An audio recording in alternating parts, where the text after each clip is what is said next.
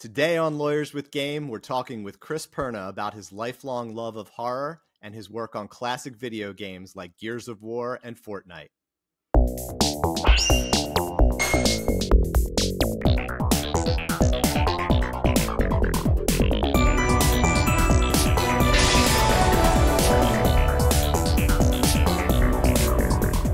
Hi, everyone, and welcome to Lawyers with Game. I'm your host, Darius Gambino. I'm an intellectual property attorney with over 20 years of experience advising clients on issues related to patents, trademarks, and copyrights. I'm also a lifelong gamer, having played on about every system from the original Atari to now the PlayStation 5. You can find me on the PlayStation Network as EaglesFan71. I'm really excited to have as my guest today Chris Perna. Chris worked as a digital artist and an art director at Epic Games for over 20 years. And he worked on franchises like Gears of War, Infinity Blade, and Fortnite. Chris, welcome to the show. Thanks, Darius. Good to be here. It's great to have you. So, I wanted to jump right into it and talk about your path to your current role, which is uh, running your own company and producing your own content. Your company's called Black Obelisk. Mm-hmm. Um, how, how, did you start out uh, in digital artistry um, uh, and start working at Epic Games? And, and how did you uh, wind up where you are today? Well, you know, I started really young. I was I was you know drawing when I was like 18 months old. Like my parents were amazed at, at uh, what I was coming up with. um, and at the time, you know, it was like early 70s, I guess, and it was uh, there were programs on TV that really influenced me. There was like this Sid and Marty Krofft had shows like HR Pufnstuf and, and things like that. So I was drawing witches and, and all kinds of dragons and stuff all over everything by the time I was like two or three. Um, so uh, that just continued uh, through high school. I also had kind of a, I guess, an ADHD anxiety disorder, undiagnosed at the time, right? But I just could not sit still in class. And when that door shut, it was terrifying for me. I was like, well, what if I have to go to the bathroom? What if I have to this or that? Um, so I, what I did was I withdrew and, and literally I would draw in class. Um, and I would draw monsters and kind of, you know, all my anxiety would kind of come out on the page. And um, that was, uh, you know, I, I wanted to get into movies early on.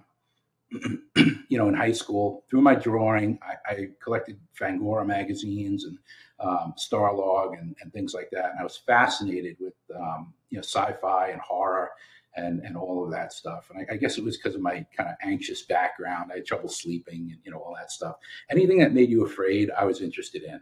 Um, so I was you know constantly trying to conquer my fears, I guess, and draw them out and and uh, you know have these these kind of things. So anyway. Um, I had you know, at that time I was like in high school, and I, you know, by the time I got to high school, I had a whole portfolio of monster stuff and barbarians and you know all this stuff. My my influential artists were uh, Frank Frazetta was my number one, um, and then there were a host of others. H.R. Giger at the time had come out with Alien, and you know all these fantastic movies and artists were creating content that I was just immersing myself in. I graduated from FIT with an advertising degree, an associate degree in advertising. And I, I got a job setting type at the Smithtown News. On, on it was a newspaper on Long Island. I, I was uh, setting real estate ads, real estate classified ads, and that was that was great on like a Mac II Classic. Right, it was a little tiny box computer. Um, but I learned I learned programs, QuarkXPress, graphic design, I, all that stuff, and eventually I worked my way up to um, uh, an award-winning ad agency on Long Island, Denouty Munch, um, and you know we won many, many Best on Long Island awards uh, for creativity. Um, they were a great shop. I, learned a lot there. I became an art director there, and I, I did that for about eight years. But my passion was still horror. my passion was still monsters. I still read Fangoria religiously, and and I loved watching horror movies, and and I still had this burning desire to scare people. Um, so uh, one day I'm in I'm in the office and I hear one of the account executives playing a game, a video game, and uh, I go in there and I look and I see what he's playing, and it's it's Doom. I had never seen anything like it. It blew my mind. Um, it was it was gore. It was monsters. It was fast paced, frenetic. It, it, you know, it was just amazing. Um, so I didn't have a system at home or anything. So my brother and I uh, went out and we bought a Sega Genesis 32X. It was the, the cheapest thing we could buy to play Doom on.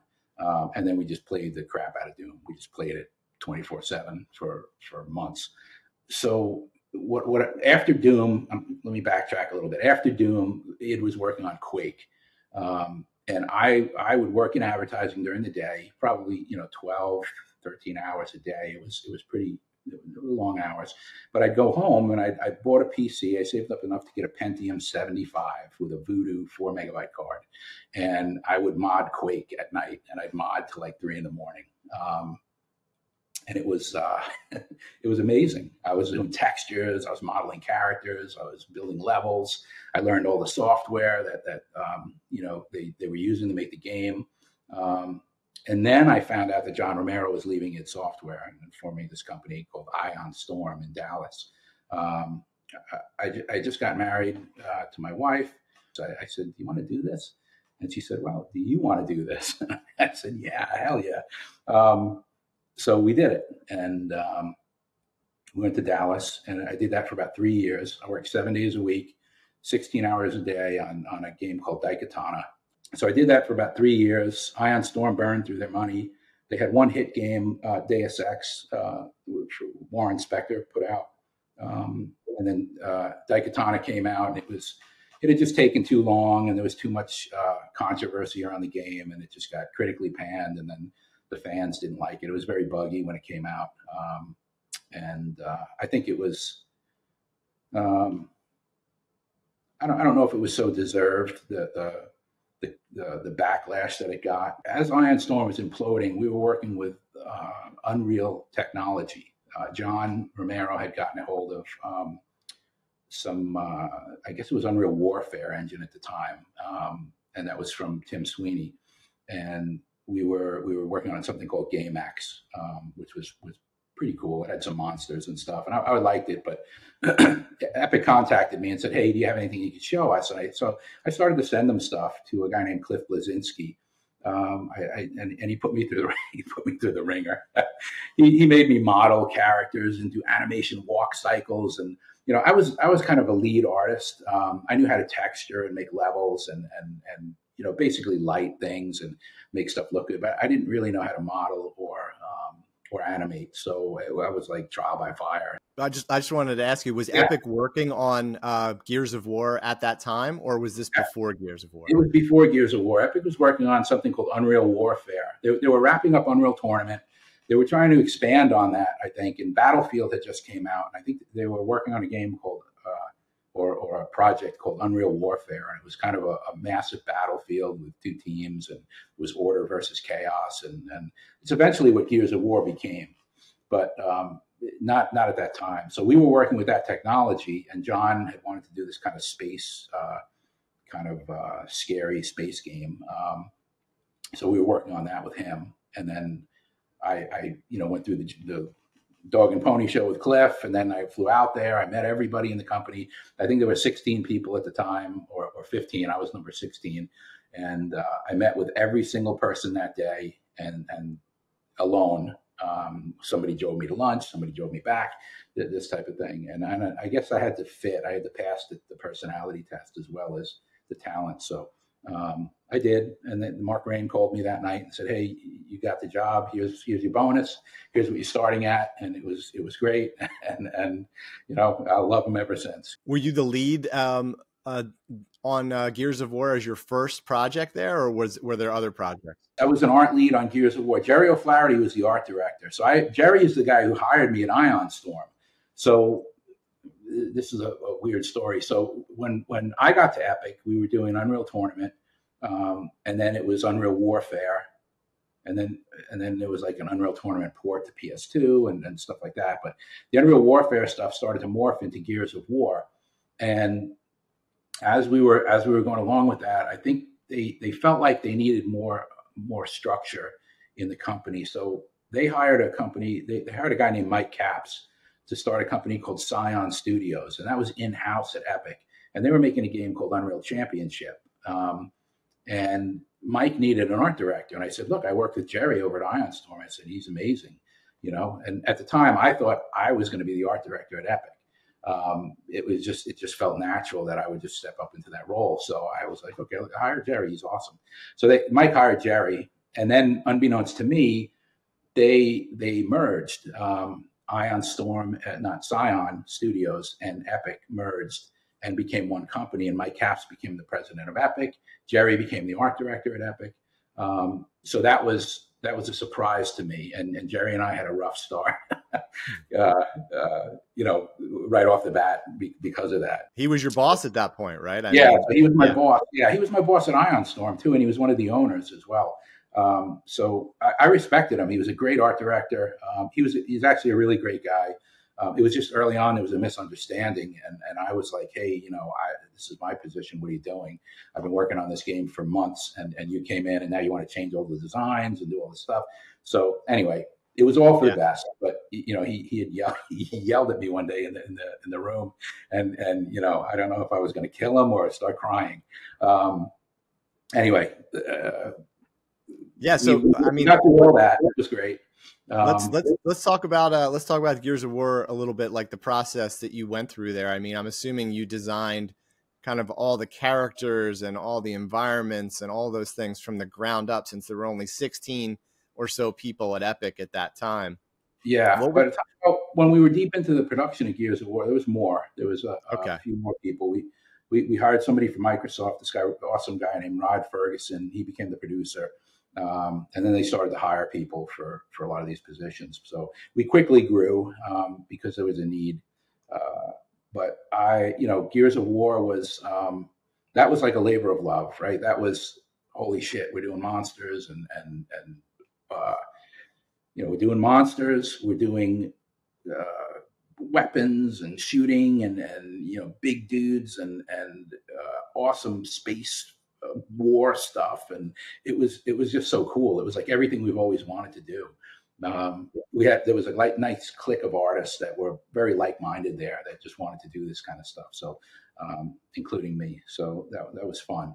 Um, so we kind of set on that journey. Um, and uh, you know that's the rest is history, I guess. Um, so, well, you mentioned H.R. Uh, Giger and and um, Frazetta before. So, like, what what were some of your influences in developing the Gears of War world? Because it does have some of those Giger elements of of the alien world, and it does have you know some of these muscle bound uh, yeah, yeah. you know uh, guys that are that are reminiscent of of Frazetta's you know work yeah. with uh, characters like Conan and things like that. So, were so those your main influences? Yeah, it was all it, mostly Frazetta. I mean, it was all Frazetta. Warhammer had a big influence on us. Uh, Lord of the Rings had a big influence on us.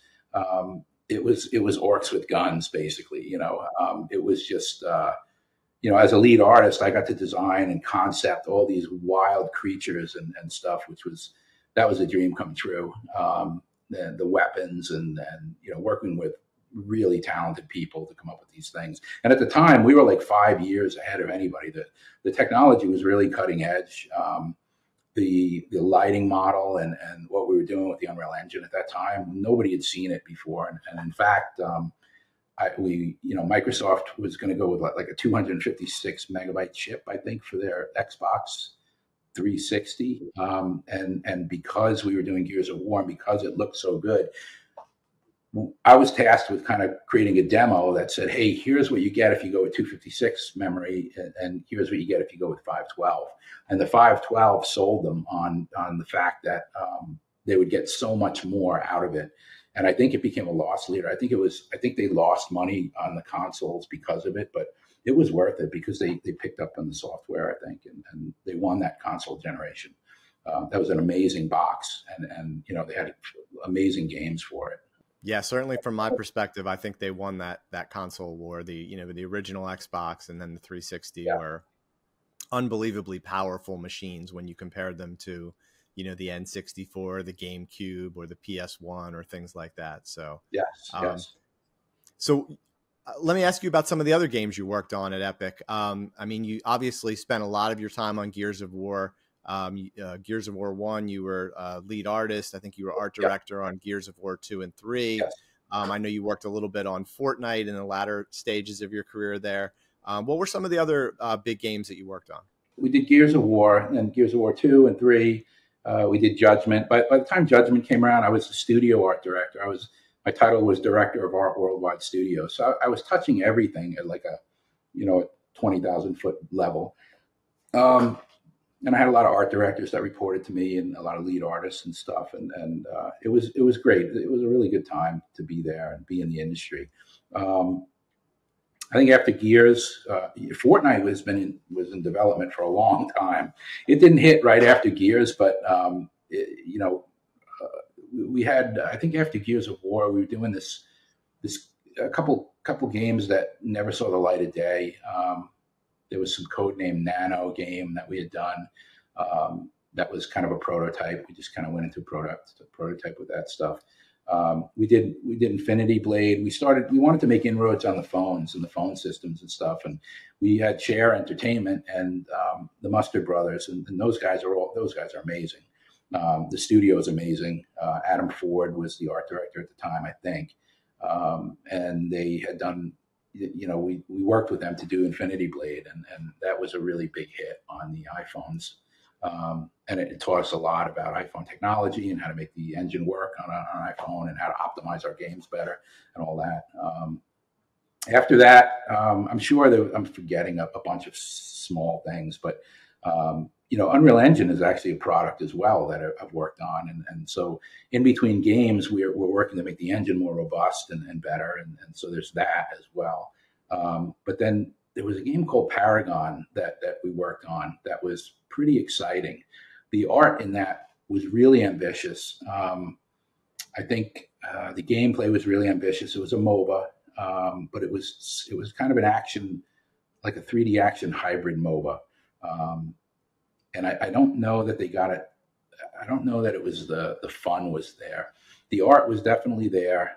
I think the business model was might have been lacking a little bit because it was so expensive to make characters, and then they kind of gave them away for free. We just couldn't keep up with the demand. Um, that's why Fortnite kind of hit the sweet spot with with this more stylized content.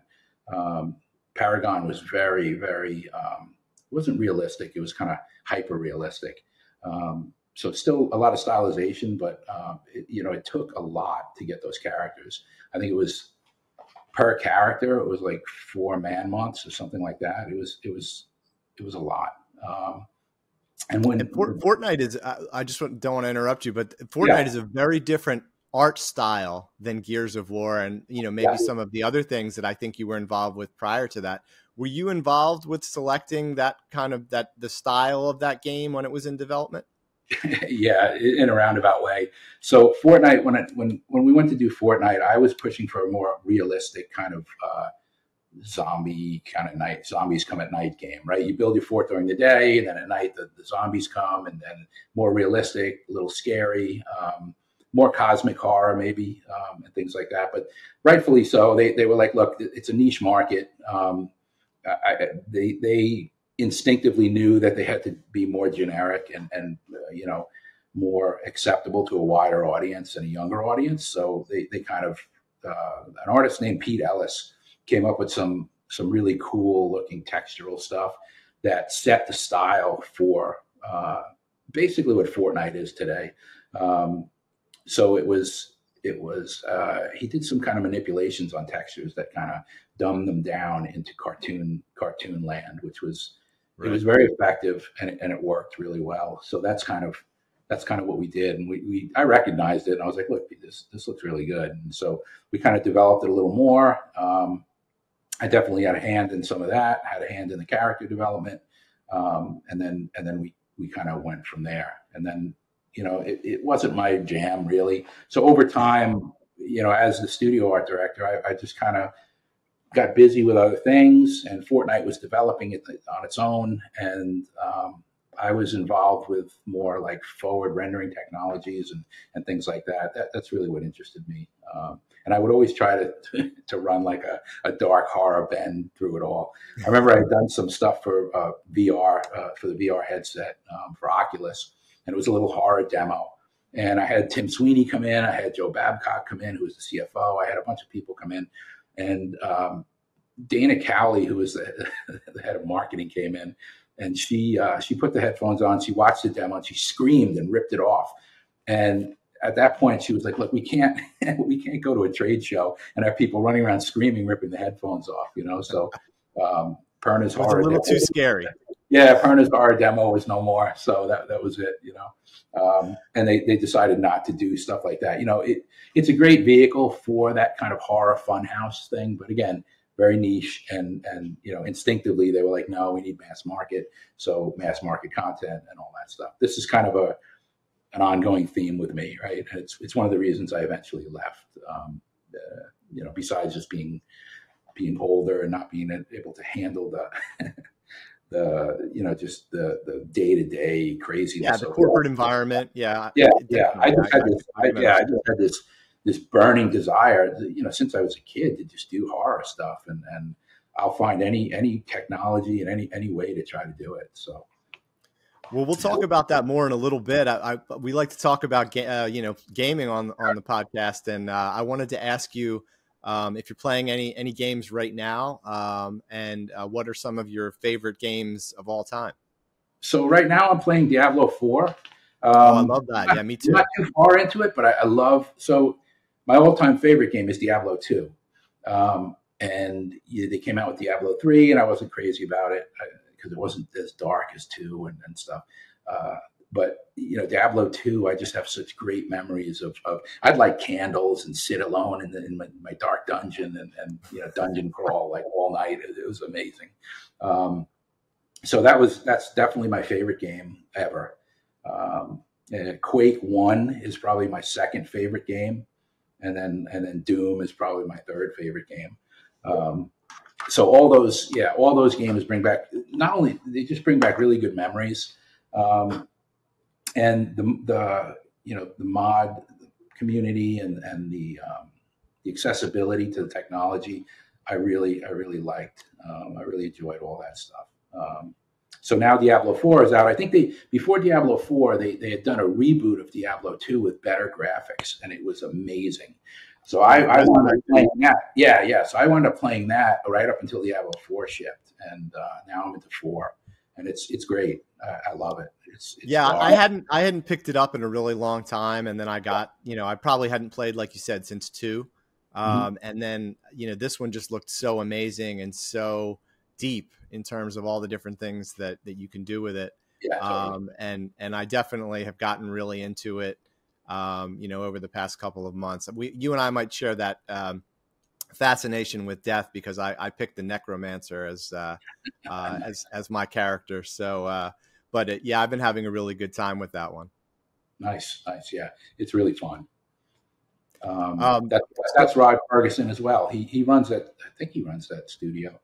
Um, he he's he's the he's the he was the producer on Gears of War, so he's over at the uh, Blizzard now.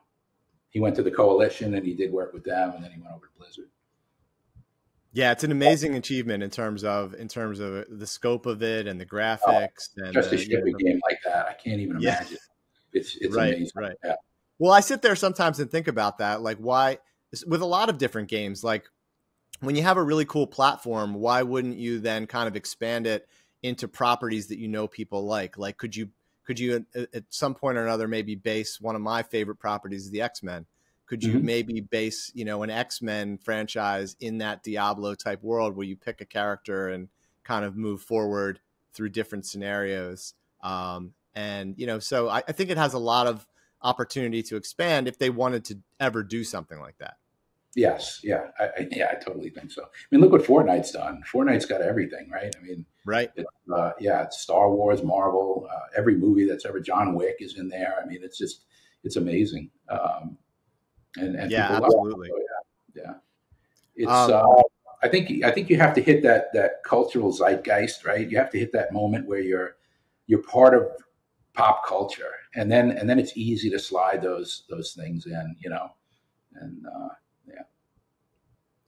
Yeah. Um, I wanted to ask you now a little bit about your current project, which is uh, the feature film you're working on, which is I think uh, I'm characterizing it correctly as a psychological horror film set in the 70s uh, that's yeah. called simply 77. Um, yeah. I know I know you've been filming that and you've been editing it, um, and that's been a labor of love for you for a while now. What can you tell us about the film? Um, uh, who's working on it with you, and and when we might be able to see uh, a trailer or or something for it? So this is kind of a lifelong dream of mine to to do a, horror movie. Um, now, 77 is a short film. Uh, I wanted to get my feet wet as a director. Um, I realized that I'm, I'm switching genres. Um, it's a new role for me. There's a lot I don't know. Uh, making movies is very complex. Um, it's it's a lot with the actor stuff. I, I, have the technology down. I think you know. I, I, know the cameras and I the film and the lenses and all that stuff. Um, but it's working with the actors that's kind of um, been a, been a real challenge for me.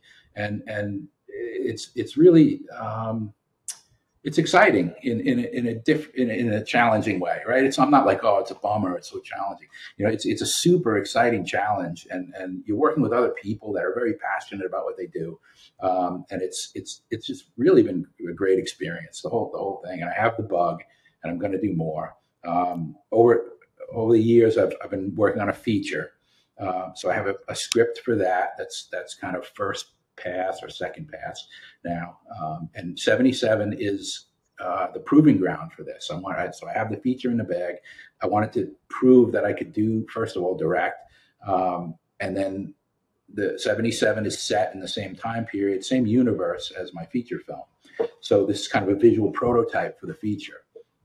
So, uh, can I nail the actor's looks? Can I nail the costume design? Can I nail the atmosphere of, that I remember of the 70s and that, that I've seen from movies like Taxi Driver and, you know, um, The Warriors and, and stuff like that, right? Uh, can I can I nail the tension of, of and, and the, the minimalist horror of like a Rosemary's Baby, right? I mean, these are all great, fantastic movies. Um, and, and, that's kind of the bar, right? That's that's what I want. I don't want to make slashers or gross out movies or anything like that. I want to make these slow, dreadful um, throwbacks to the '70s. You know, they were there were no happy endings in the '70s. There was none, none of this, you know, none of this joy and, and all this stuff. It was all uh, you know, it was all dread. And then, you know, the movies would end just like on a freeze frame of someone's face or a blurry shot of someone's face, and, and it would just cut out and the credits would roll. Um, so th- that to me was really scary and really awesome. And, and uh, we'll see. I- am excited about it. You know, we, we just wrapped shooting um, in Brooklyn. I was up there. Uh, we, of course, we did kind of non union. Um, the strike's going on, and that's that's horrible for them. So, um, you know, to be pretty respectful and and and you know not make a big noise about you know not make a crazy crazy big noise about it now. I guess. Um, so anyway, wrap shooting. I'm, I'm working with a guy named uh, I'm working with a guy named Jonathan Craven. So uh, Jonathan is Wes Craven's son. Wes Craven did uh, Nightmare on Elm Street. He did um, you know Scream, uh, Last House on the Left, Hills Have Eyes. He's an icon of horror. And, and his son Jonathan worked on a few of those with him and um, produced a couple of his own, and then uh, had a pretty stellar um, uh, creative shop in, in LA, uh, advertising shop, and the way they did music videos and, and, things like that. So Jonathan's very versed in, in film production and and uh, horror movie pedigree and, and, and, things like that. So um, he's just been an amazing talent to work with. Uh, I had him on set uh, and he was a, an unbelievable resource for me. Um, so it, it's it, I'm just having a great time. I mean, it's just a, a really great experience. Um, so the hope is that I can I can nail this thing. This I can nail down 77 and it actually uh, excites people. I think it's got a pretty good look. Uh, you know, we shot on film, we shot on 35 millimeter. We used Panavision cameras uh, and lenses, all the old school stuff. It's got a, a real cool 70s vibe um, and it's scary. I think it's I think it builds tension, um, and it's a it's a it's a creepy little story uh, that's just kind of been rattling around the back of my mind for years. So um, the, the hope is that we can take this now and use it as vehicle to to get the, the you know the feature uh, funded. So we'll see. Yeah, no, I, I, mean, I agree with you that, I mean, I grew up, you know, watching those movies in the 70s as well. And I always found them to be a lot scarier than what's happening today with the slasher movies. Um, for instance, like Salem's Lot was a movie that always scared me, and I'm not sure why. Um, but but you know, there was just something yeah. about you know the the dark tone of some of those films that was really um, scary in in a in a way that you didn't necessarily know why. Yeah, um, part of it part of it is minimalist, right? So there there was a, a thing that came out recently called Skinamarink, and it, it's a horror movie, and it's very minimal. It's like liminal horror, and um, it, it, really plays on your imagination to create the fear. And I think a lot of the old school movies, where Skinamarink is kind of the extreme, right? I, I you know, I, I, watched it. It was it was pretty creepy on the edge of my seat. But uh, when I, on a second viewing and a third viewing, it wasn't as effective, right? Once you know the kind of gags, it, it's not as effective. Um, but it's that minimalist horror that, that I think gets to people. The, the the the door in the hallway that's slightly cracked and the camera tracking to it, right? It's it's yeah. like what is that? It allows your imagination to go wild, and that's what I like. That's the kind of horror that I want to create. Is is the stuff that it's more about what you don't see than what you see. Um, Hereditary was was pretty good at that. Um, Ari Aster is a fantastic director. Um, and Hereditary was just filled with dread and, and and gloom and it was a little slow, but but still it, it, it had that dreadfulness to it. Rosemary's Baby, same thing. Yeah. Um, the original Alien, oh my God, you know, just amazing. Um, so it's it's that type of thing that I'd like to capture um, in what I'm doing now. And I, I, think we've got a pretty good handle on it.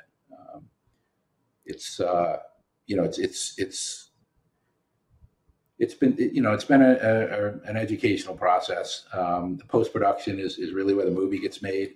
Um, you know, coming from a, a, gaming and a CG background, I'm not a CG fan in movies at all.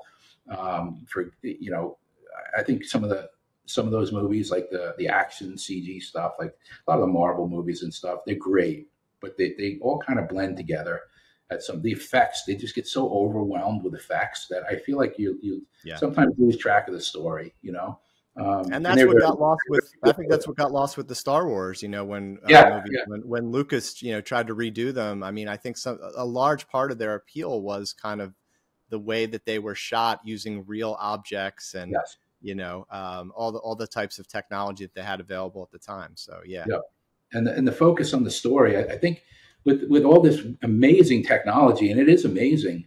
But the focus then becomes on that. Like, look at my sick effect, or look at my look at this like crazy creature that I did that's all CG.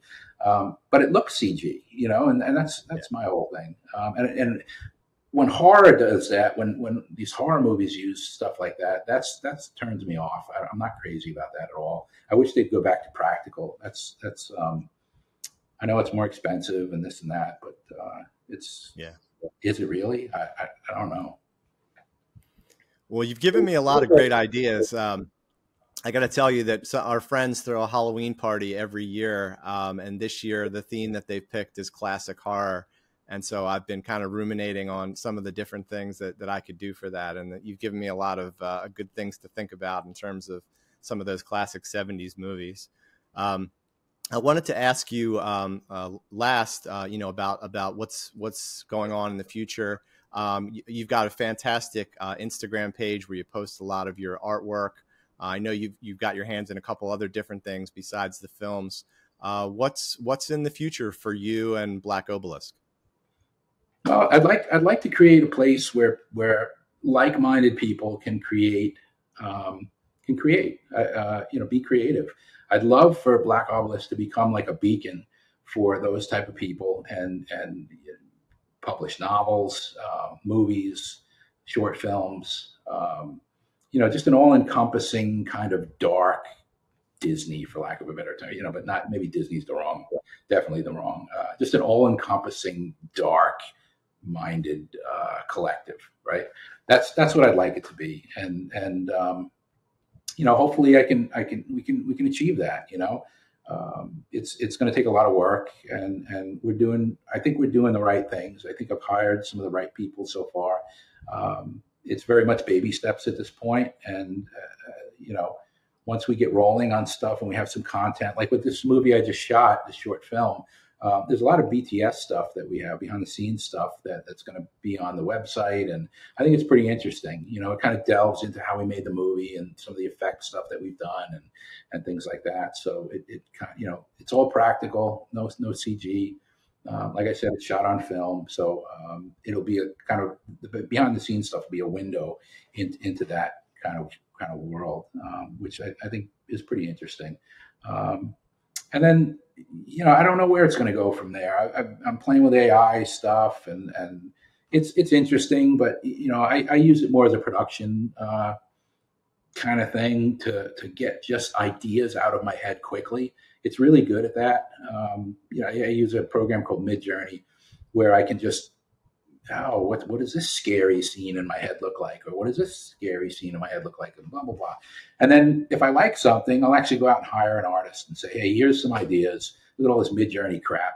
Um, what what can you do with this stuff? Let's let's let's work on this idea. Um, I had actually storyboarded some of the some of the um, some of the short film that I did with with some of that Midjourney stuff, and I had an artist kind of use that as inspiration to go through some of the camera angles and the, the set designs and just kind of uh, you know storyboard that stuff out. And it was very helpful. It kind of got him on the same page as, as what I was thinking right away. So um, I think you know there's all this kind of uh, alarm about AI replacing people and things like that.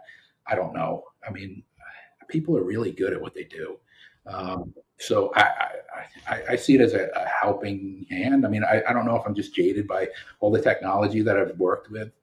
I'm, I'm a tinkerer by nature, right? So everything that comes out, I tinker with every program, every app, every this, every that. I touch it, I, I mess with it, and if it's visual, right? And and the AI is just the next thing for me that's visual that that allows me to get this crazy brain to download imagery very quickly you know um, so that's that's exciting for me um, and yeah, yeah I feel I feel the same way about AI. I mean, you know, we um, you know we talk about that and, and it's a tool you know there's a lot of people that are scared of it or you know mm-hmm. think it's it's going to take us over uh, uh, you know aka the terminator um, but um, ultimately it's going to be a tool that's going to help us make better art, uh, write better, um, do do a lot of things better. At least that's my you know positive hope for it. Yeah, me too. Me too. Yeah. So, well, um, unfortunately, uh, that's all the time that we have for today. If you have any questions about any of the topics that we talked about, drop them into the comments, and I will try to answer them um, without providing any real legal advice, of course. Keep in mind that this series is intended to be a very general discussion of legal issues in the video game industry. It is not intended as actual legal advice. If you need actual legal advice, please reach out to us and we'll be happy to help you. I want to thank Chris Perna for coming on today and talking about his amazing 20 plus years in the video game industry and everything he's working on now. Chris, thank you. Thank you, Darius. That was great. That was really fun. Thanks. I'm your host, Darius Gambino, and we will see you next time on Lawyers with Game.